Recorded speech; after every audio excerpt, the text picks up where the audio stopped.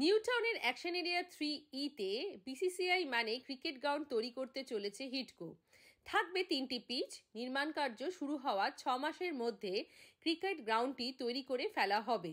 খরচ পড়বে প্রায় চার কোটি টাকার কাছাকাছি।